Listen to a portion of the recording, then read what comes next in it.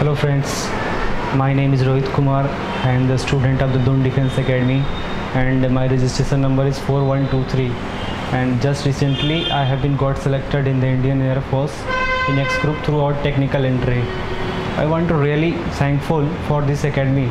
Doon Defense Academy is one of the best academy in India which provides the uh, required all the things which is needful for a defense aspirants and basically its teaching faculty is very good which all the teachers have the very good experience to what is the needful materials for a defense aspirants and uh, this academy is one of the uh, best thing of this academy is the discipline maintained.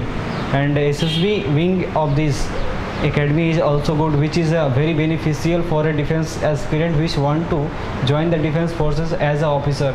Unfortunately i could not join it but uh, now i have been just uh, becomes a part of uh, defense forces in indian air force and recently after uh, after completing my graduation i will try fcat and then will try to become a officers in this academy really thankful to basically uh, sandeep sir which provides and uh, all these faculties or uh, give such a uh, um, golden opportunity to all the defense aspirants. Uh, now I want to request all those peoples or students which are defense aspirants uh, want to come their dreams true in defense line. Please come once again and take it as a very good thing.